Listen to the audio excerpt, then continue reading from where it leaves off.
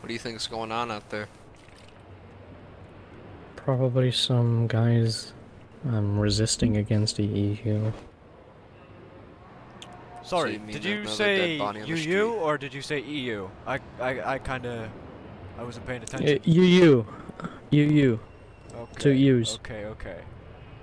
Just a short term.